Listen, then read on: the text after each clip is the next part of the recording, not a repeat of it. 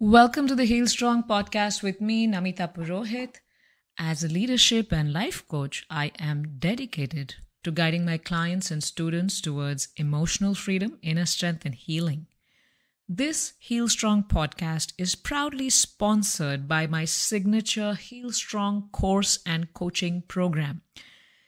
It is a well laid out roadmap that helps victims make a complete recovery from toxic narcissistic abuse.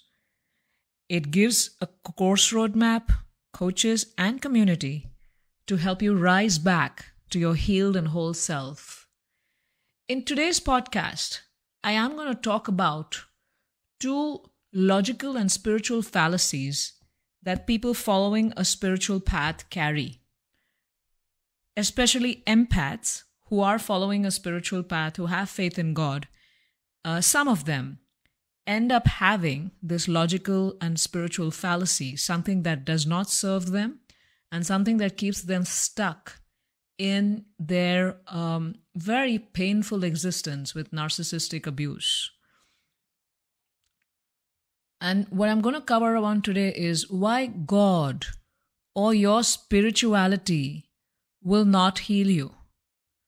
And it's important to understand the play between divine assistance and personal responsibility. So that's what we're going to cover today. And before I get into this, I want to preface this podcast by saying that narcissistic abuse is very difficult to go through. It robs you of your being, of your dreams, of your soul.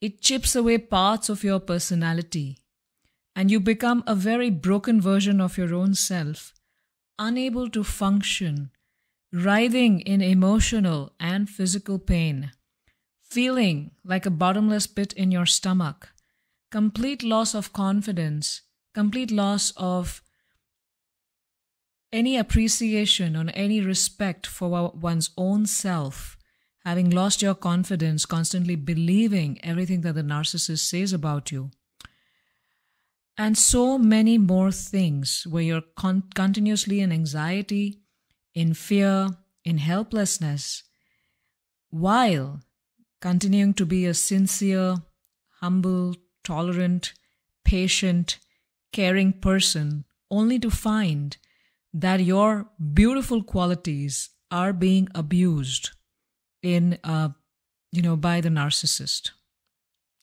so, having said that, and having done many podcasts and many blogs, and uh, you know, to serve you in helping you heal, in helping you understand your own emotions, in helping you understand your vulnerabilities, in helping you understand how to grow and glow, uh, and you know, recognizing and the three stages of reveal, deal, and heal. And I have full empathy for your situation and uh, please watch my other podcasts, hear my other podcasts on the topic to get uh, solutions for those things. But as your teacher and as your coach, it is my responsibility to also help you work on some of the fallacies in your thinking that block you from making massive leaps in your healing and recovery. So, why will God not heal you? You are an extremely spiritual person. You do your prayers very sincerely, and uh, you have been uh, following God's path. And, uh, you know, you have been suffering for so many years patiently um, and w- wondering why can't God see how much you have suffered already? And why can't God elevate your suffering? Why can't God remove you from the suffering? Why can't God heal you? From this suffering. Uh, and you wonder why. You wonder why the Lord is not intervening in your life. You wonder why the Lord is not making some divine arrangement. And why why isn't anything happening? And why has God left you? And why has God forsaken you? In spite of you being so sincere. And this also starts shaking your faith in God. And uh, and I'm going to introduce you to two fallacies now. And let's start with the first one. The first one is the fallacy of expecting direct divine intervention. And it goes like this I have suffered sincerely, so much for so many years. And that should be enough for God to pay attention and heal me. And, and this comes from a very grave misunderstanding of the nature of divine assistance. And I'm going to flip this on this on, on its head. Why should God help you just because you have suffered and you have been in a toxic situation for very long? What does God have to do with it? That's my question to you. Okay, you're expecting justice, you want justice in your life, and I get that. So you're probably expecting that, and that God is the justice giver, and that God could should give you justice for whatever you have suffered. And I understand that that could be coming from there, but then sometimes one way to think about it is also that maybe the suffering I'm going through is some kind of divine justice for some of the actions that I have done. That's one way of thinking about it. The second way of thinking about it is, is that there is absolutely no uh, reference anywhere where it says that just because you suffer patiently and you've suffered so much and you you know that divine intervention and divine guidance and divine help and divine healing and that god should remove you from this place um, should come to you. Where has God promised you that? Where has that been promised to you? Right? So these are some things to understand. Now there then I'm gonna I'm gonna you like there is a story that I'm gonna share with you of a client who had come to me and she was a victim of toxic um, sexual abuse as a child. Uh, and there were like six incidents that she could recall uh, up to the age of 12. And there were many more, but she couldn't recall them. But she could recall up to six incidents.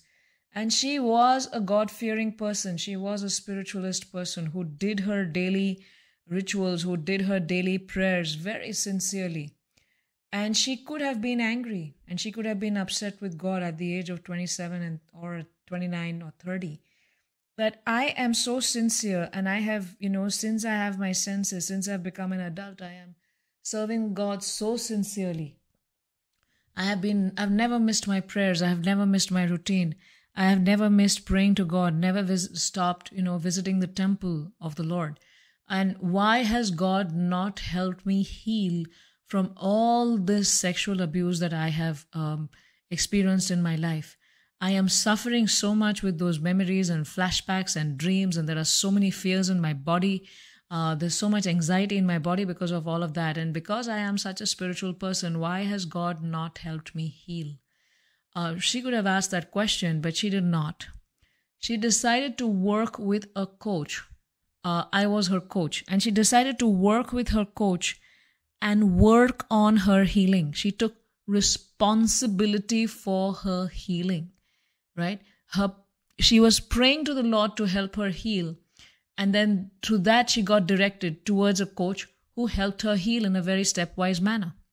Right? And she took responsibility. She didn't come to me saying that, okay, now you just heal me. You know how to heal my chakras, so why don't you just clean my chakras? A lot of people come to me saying those things, and actually, I, I'm, I'm pretty disappointed and put off by that because that's not what I want to do. I'm not your cleaning machine. I'm not here to clean your chakras so that you start feeling better because no matter what cleaning I do for your chakras, if you continue having certain mindsets, your chakras are going to go back to the same position. And if you're going to continue having certain mindsets, you're going to continue being susceptible to um, difficulties and narcissistic abuse in your life. Um, I like to work with those who actually want to do that deep inner work and work on themselves and heal themselves. And this is what this client had done. I only did six sessions for, with her this was many years ago when I would only do very quick, uh, short sessions.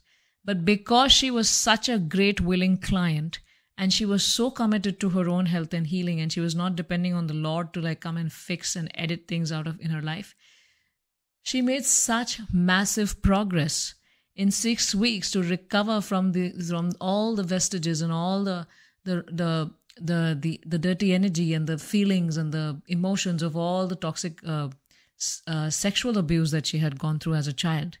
Yes, so she did. So because she decided to take action, God helped her, right?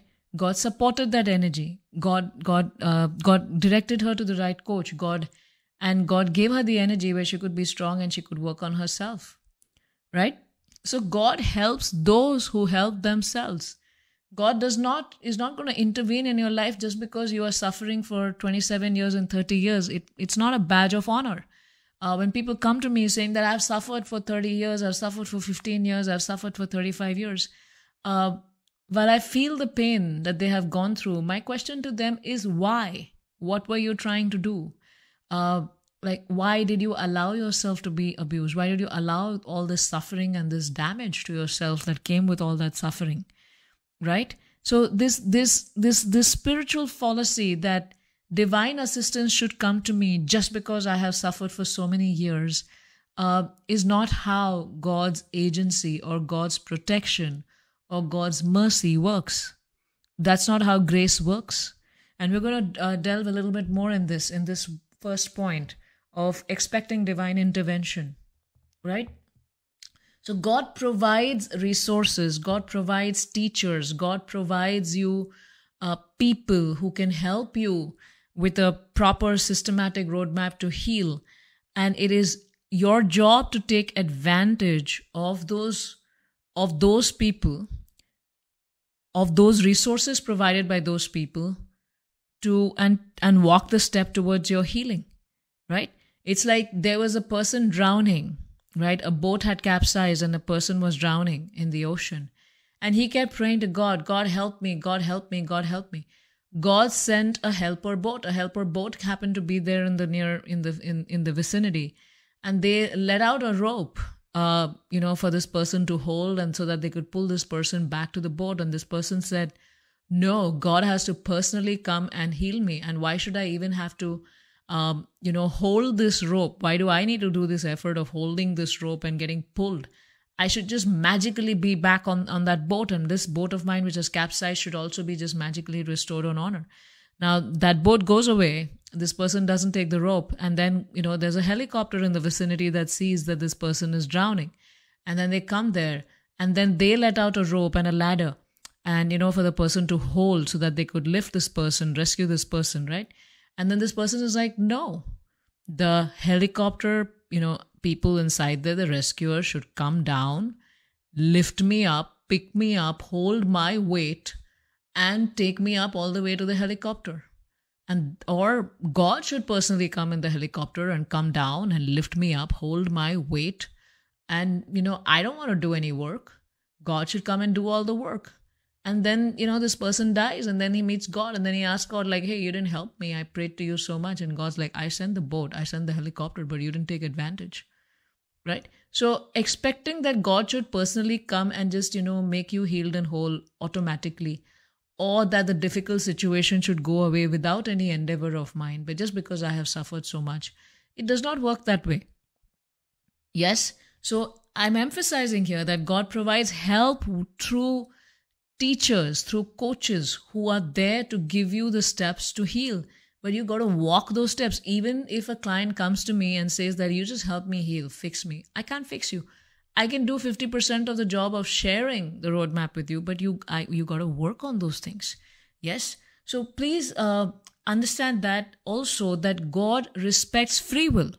Now, unless this drowning person is making an endeavor to hold on to that rope or to hold or to climb that ladder that was provided by the helicopter, how does God know whether you really want to be healed and you want to come out of the situation or not? because you're not taking any action towards it.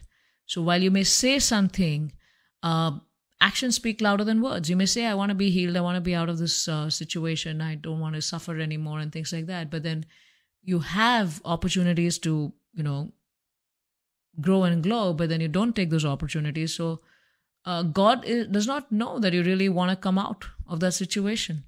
So, why would God pull you out of that situation? Because God does not uh, interfere with your free will. Because no matter, some of us may say, I, I want to heal, I want to come out, and things like that. But then some people I know uh, also just like to be in that victim mindset because they're getting some sympathy in that situation, right? We and and some people are in those situations because they just want to continue in those um, relationships or they want to not leave the security that they have received or the predictability of the abuse They don't want to expose themselves to a life where they don't know it's going to be unpredictable when they're not in that same situation. They won't know how to handle themselves. The abusers become too familiar and it's, you know, people choose things that are familiar.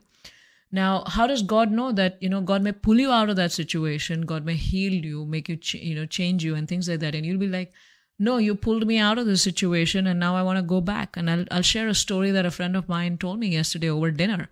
I had a very, I was attending an event and a very nice dinner and um, I was spending time with a friend, um, you know, with whom, you know, we resonate really well. I'm meeting her after a very long time.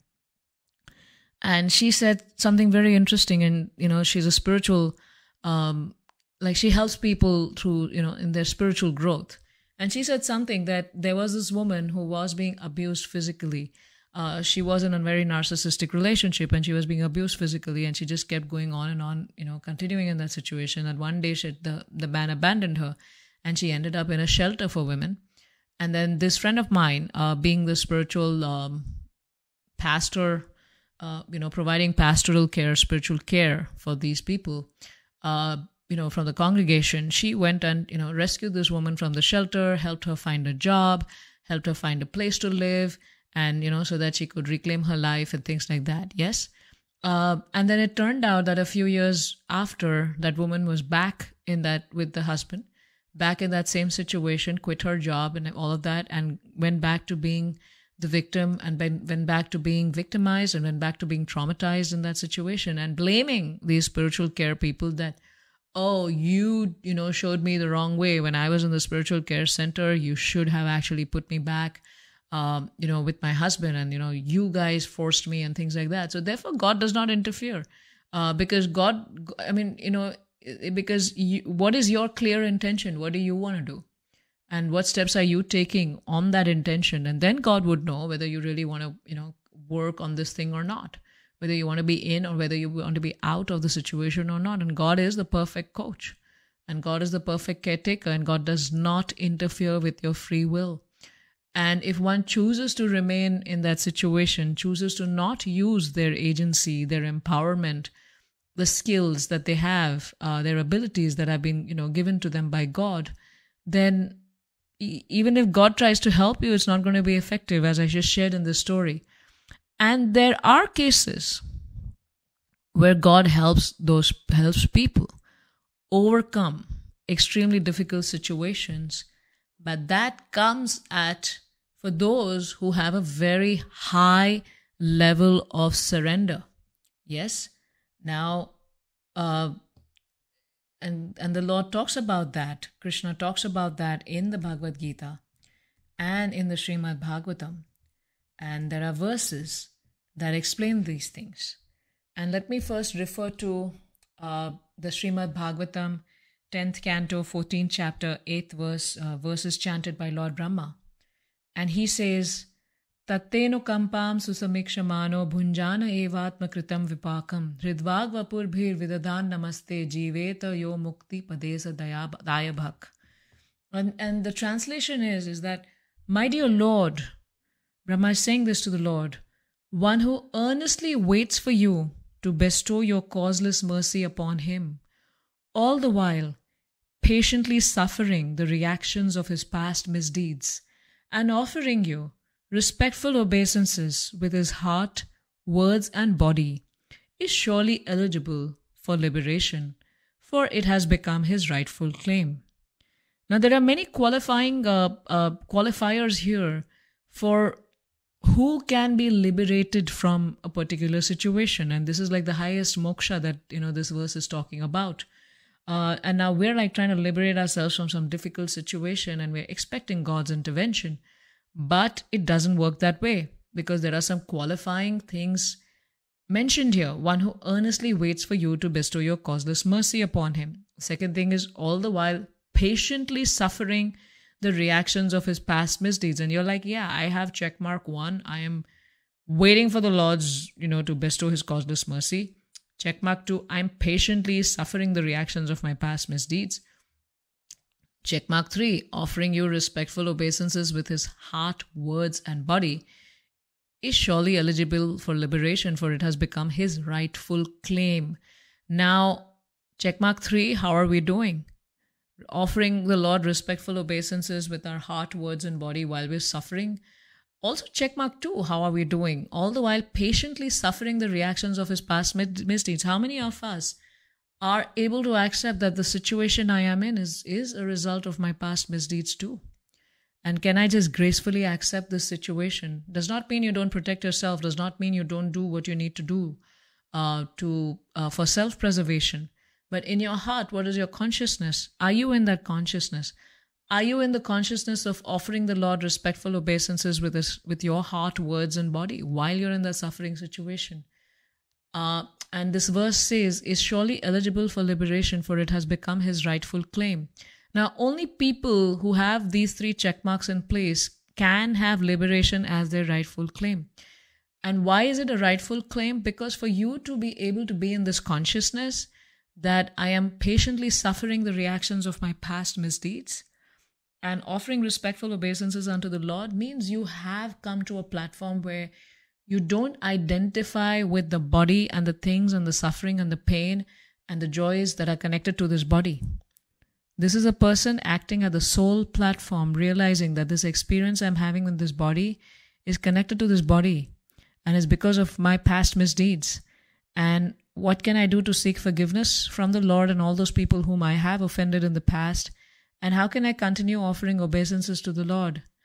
Uh, now, when you realize your spirit soul, you can continuously offer obeisances to the Lord with body, mind, and words. Because, and what does this obeisances mean? It means that I understand I am not this body. I am spirit, soul, part and parcel of the Lord, and what I'm experiencing is not not not real.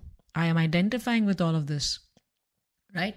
Now, when we come to that consciousness, then liberation becomes the rightful claim because you're already internally created that liberation consciousness where you're liberated from uh, the material experience, the bodily experience that you're having. So, to expect that the Lord should come and personally intervene in your life, it is going to be based on the quality of your surrender. Yes, how surrendered are you? Are you complaining, feeling like a victim, or are you taking responsibility of your past misdeeds? what is your inner dialogue? And that is something that we need to examine with self honesty.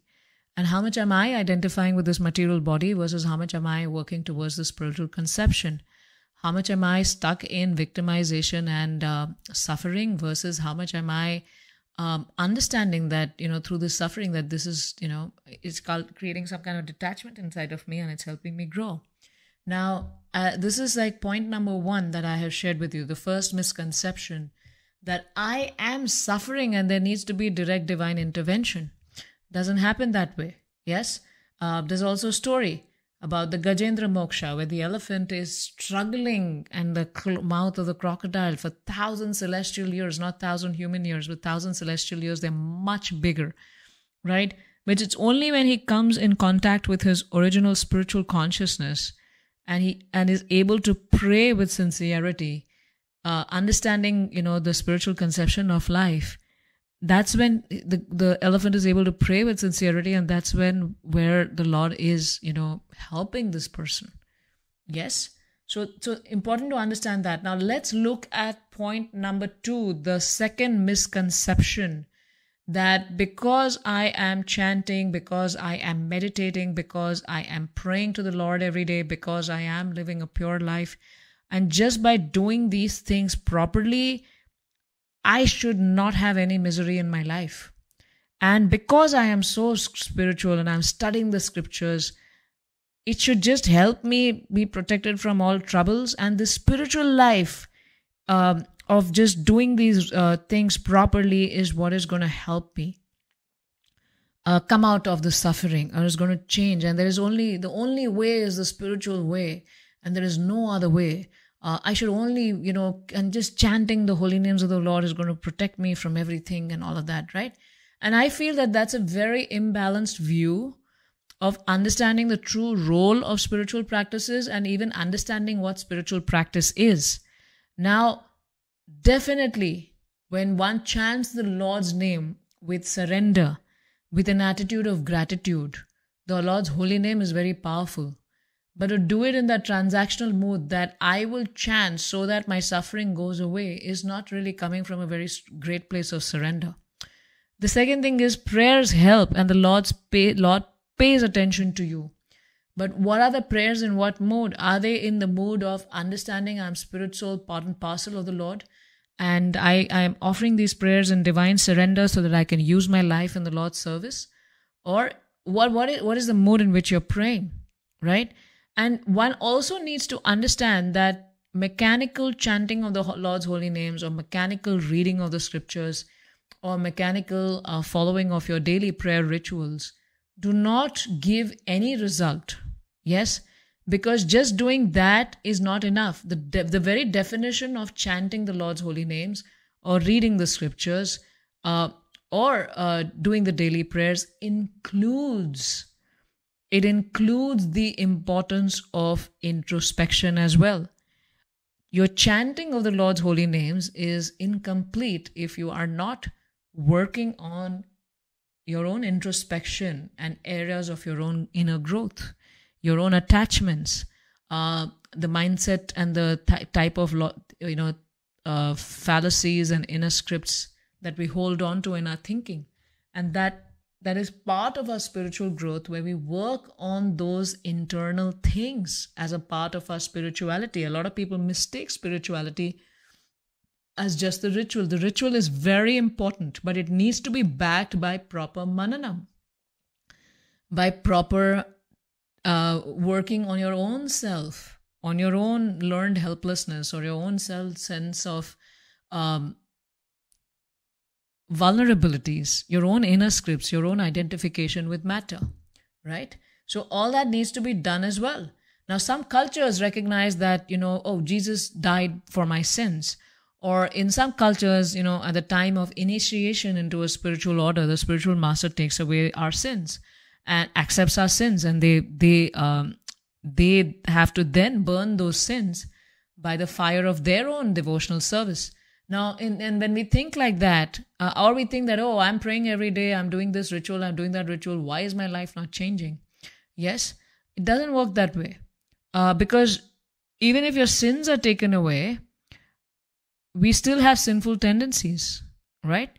Now, in the case of an empath, there may be certain tendencies around perfectionism that I'm going to be perfect, or I'm going to, through my love, cure this empath, the narcissist or things good things should come to me on their own if i'm just sincere. And there are so many more uh, fallacies that an empath can carry. While they can be very sincere and well meaning but there are certain fallacies that we carry. And it's important or there may be this this anger like how dare i suffer and like you know the whole victimization. And and and that's natural. And as i said i've done many videos on that to help you heal on those things. So please don't think i'm not compassionate or empathic towards that. But as your teacher it is my job to also share these things with you so we have to work on these inner conceptions. Just empty spiritual rituals are not going to help you. You got to work on your inner conceptions also. And, and the rituals include the fact that you have to work on your inner purity and your inner conceptions. It's just that we have decided, a lot of people have decided not to work on that because it's very hard. Like people who come to me tell me, just clean my chakras because but but i'm like no you got to work on your thought process. They're like no i don't want to do that. And a lot of people treat uh, spirituality like that also. It's just i'm going to clean things and i'm going to feel happy. No. God will intervene in your life. God will help you. But you got to do your own spiritual practices in the right consciousness. You got to use your own agency to get help to climb that ladder and hold your own weight and come out of the ocean or to take the rope and like swim towards the boat you need to do it. Uh, and if you don't do it, it's not God's job to hold your weight. And God helps those who helps themselves. And God helps those to the extent to which people are surrendered to the Lord. And the Lord says that in the Bhagavad Gita. And He says, Ye yatha mam prapadyante tams tathaiva bhajamyaham. Mama vartamanu vartante manushya partha sarvashaha. So, as all surrender unto me, I reward them accordingly. Everyone follows my path in all respects, O son of Pritha. Now, one may think that, oh, so God is this egomaniac, this narcissist who wants people to surrender to him and only then he'll help them. No, it doesn't work like that. Uh, as a coach, I can tell you that I can only help those people who have faith and trust in me and who are ready to follow the path that I'm showing them. It's only then I can help them come out. So, what to speak of God? God is going to help you to the extent to which you surrender to the path and the wisdom and the steps that He has shown you. And He shows you that through His instruments uh, out there the gurus, the coaches, the teachers, the mentors who are specialized in helping you in particular aspects of life. Some people, your, your, uh, some gurus, and your own spiritual practices and your own uh, level of understanding and growth in spirituality is going to help you at the soul level to rise at the soul level. But at the mental level at the conception level at the level of the body and the mind and the the the false identification with matter and and, and whether it's an as an empath or a narcissist that needs special stepwise work with the help of people who are expert in that. So therefore uh, I would like to invite you to join the Heal Strong program to make a full recovery from narcissistic abuse. Uh, there are links in the description below and take advantage of that because things don't happen automatically. You're not just going to become healed just because you had a certain quota of suffering and that's gone. Because while and and that that may be true that oh I was supposed to suffer for so long, but then if you haven't worked on your mindset, then the abuse uh, even if the abuse is not there, you still need to heal from the effects of that abuse, the PTSD, the complex trauma, the stuff that's happened to your body, um, and all of that. You, you, you, it's like you're a war veteran, right? So, in example, the lady I talked about could have also thought the same. I have done my rituals properly and things like that. I'll just keep sticking to my rituals and you know whatever I'm doing and my chanting and all, and I'm not going to work on my inner work. No, she decided to do that, and she worked on herself so there is a great importance of personal action and personal responsibility in conjunction with spiritual practices. And let me go ahead. Spiritual practices include personal action and personal responsibility. There needs to be your purushartha, your personal effort for daiva, for divine uh, grace to act. And sometimes there may be all kinds of, you know, there's beautiful fertile soil there's beautiful rain, there's beautiful sunlight, but you haven't planted the seeds. You haven't done your part. So you're not going to get a beautiful crop. And your own healing from narcissistic abuse works in the same way. God will provide the sunlight, the rain, the beautiful fertility of the soil, but you got to put the seed, which means you got to do the plowing and the tilling and the putting of the seed and all of that. And you need to work on yourself through the resources that God has provided. So I encourage you to reflect on how you can take proactive steps in your own life, personal action and responsibility in conjunction with your spiritual practices to help you heal. And how can you connect with those people that God has sent to you? And how can you invest through them in your own healing by following the roadmaps and the steps that are given to you? This is not automatic. And I'd like to sign off, and I hope you have enough for introspection. I say this with great compassion. I have full empathy for the pain and the difficulty that one goes through in their narcissistic abuse, um, the debilitating uh, effects of those abuse on the body, the mind, and you know the various diseases that can happen, the breaking of confidence and things like that. And I have shared steps on how to work on that in my programs, in my in my in my podcasts and in the systematic stepwise course that I have to have helped heal so many people make such great recovery from narcissistic abuse. So, while saying that, it is my job as a teacher to also give you a little push and help you work on your own mindset and reach out to get the healing that you need. So, thank you very much and wish you all the very best.